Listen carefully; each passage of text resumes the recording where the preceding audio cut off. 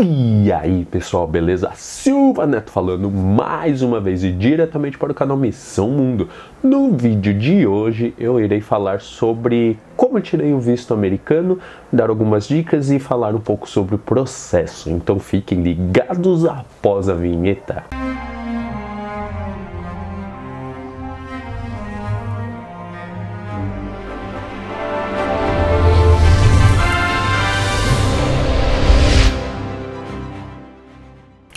vamos lá, pessoal. Eu vou mostrar para vocês primeiro como fazer para tirar o visto americano, todo o processo.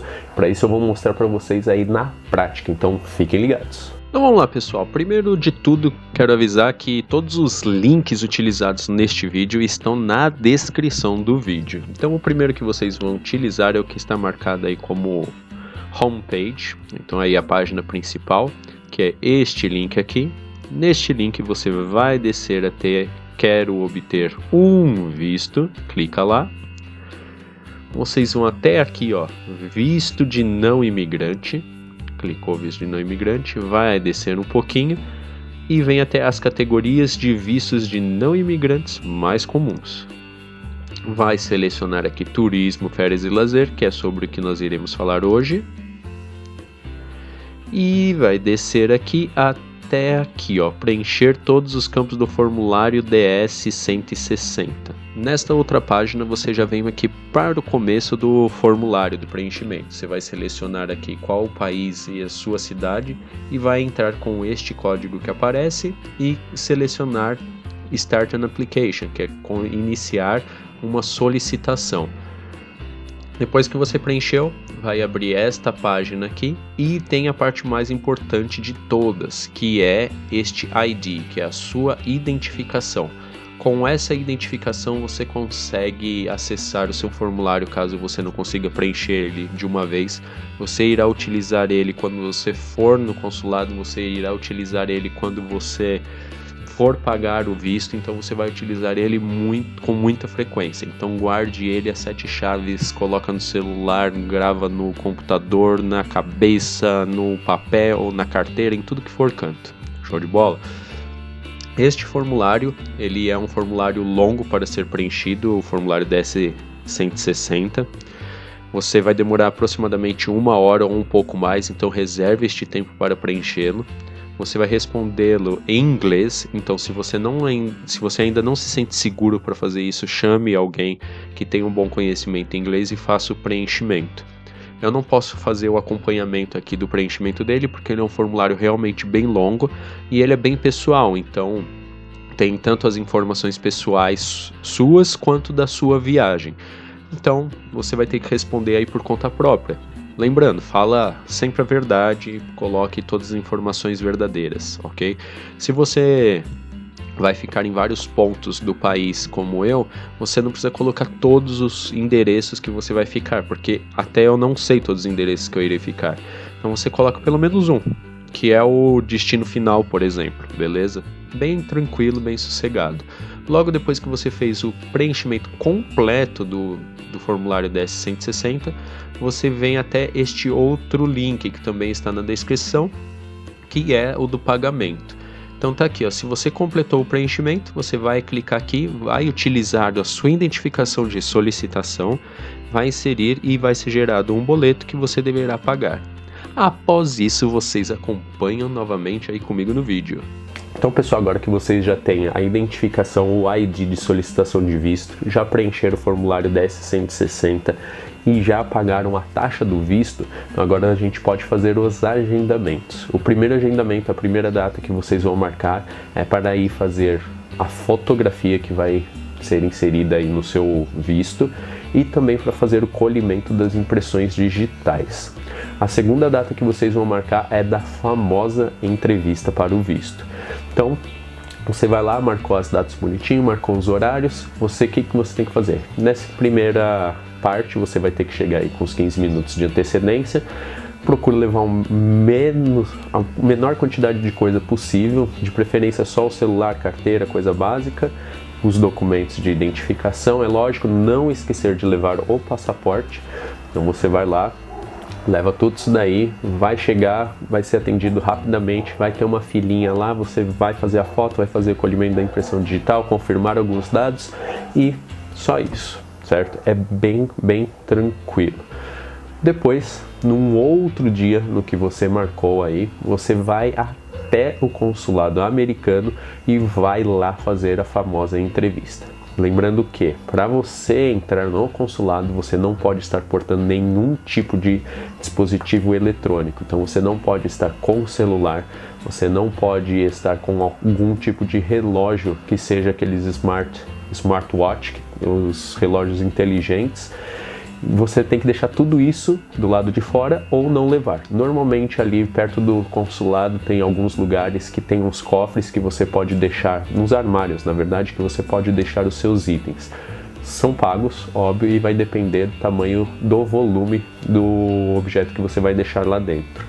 Também em uma determinada parte você não vai poder entrar com, não vai poder estar utilizando jaqueta, vai ter que estar sem jaqueta, principalmente lá na parte da revista e também não vai poder estar utilizando o cinto na hora da revista, mas tudo isso daí eles irão avisar e sigam realmente tudo à risca com relação a essa parte de segurança, porque o pessoal lá é bem exigente. Logo que você entrar no consulado, você vai ter que apresentar o visto e o formulário 160, que tem lá um código de barras. Eles vão escanear e vão te indicando para onde ir. Eles vão perguntar para você, você vai, você vai mostrar o passaporte e esse formulário pelo menos umas três vezes antes de chegar até a parte da revista. Passou tudo isso daí, eles vão confirmar que tipo de visto que você está solicitando e vão te caminhar para a revista, vai pegar a filhinha da revista, vai passar como se fosse no aeroporto, passar no raio-x, tudo bonitinho. Depois dessa parte eles vão te encaminhar até a parte de espera da entrevista.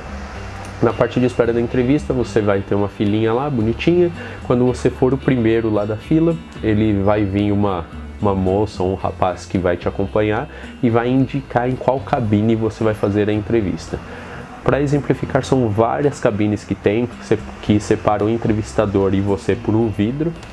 E você vai começando a ficar meio nervoso tal, mas vai chegar lá com calma. E aqui eu vou falar para vocês algumas perguntas que me fizeram. Não, provavelmente não serão as mesmas para vocês. Então serve só como uma base, certo? E lembrando uma coisa muito importante que eu quase esqueci, que é com relação aos documentos que você tem que levar.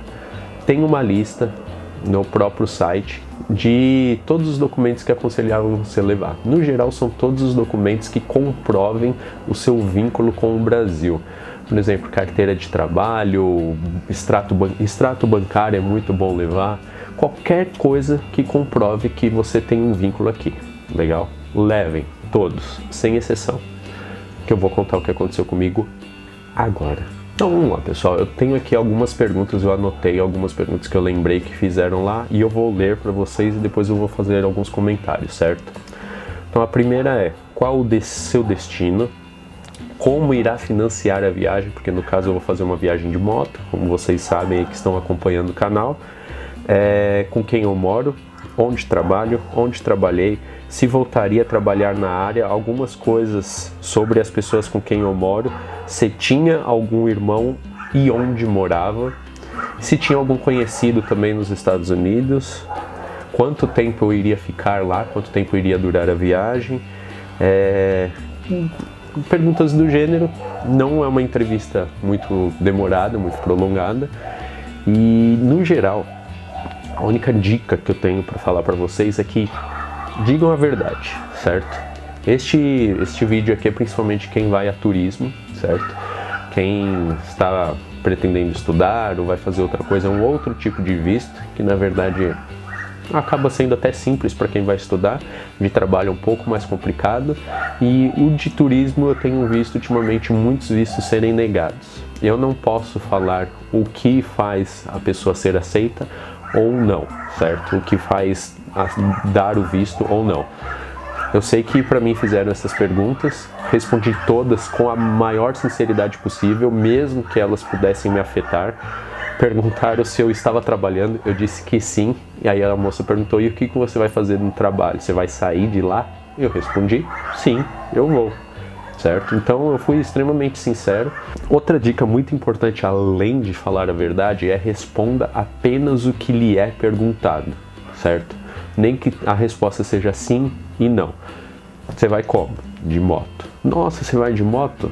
Vou. E quanto tempo vai demorar? 35 dias. Ponto. Não fica prolongando, não fala mais coisa do que necessário. Perguntou uma coisa, responde que foi perguntado e nada mais. Com relação aos documentos, não pediram extremamente nenhum documento para mim, mas eu levei todos, sem exceção. Na fila eu consegui perceber que algumas pessoas que levaram o documento, eles solicitaram principalmente se era por visto de estudo, ok? Então, fiquem ligados e levem os documentos.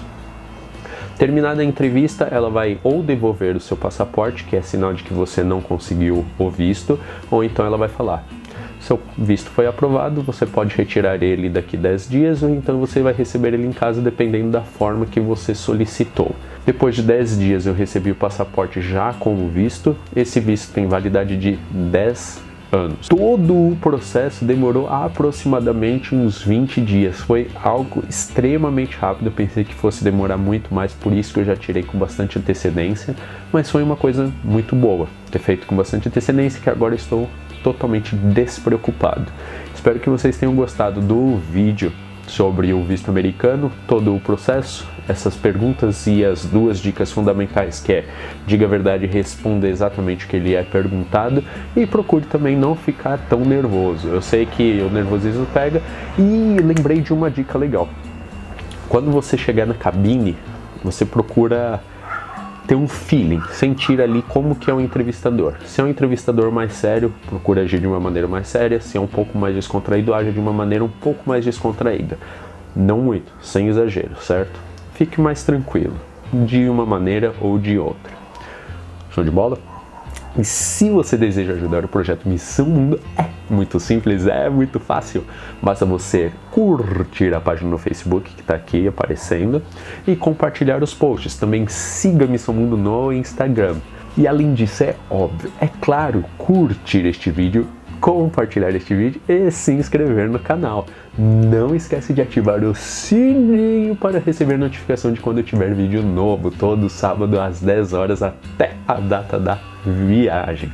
Lembrando que semana que vem eu vou falar rapidamente sobre o visto canadense. Então não percam. Um beijo, abraço a todos e missão mundo. Até a semana que vem.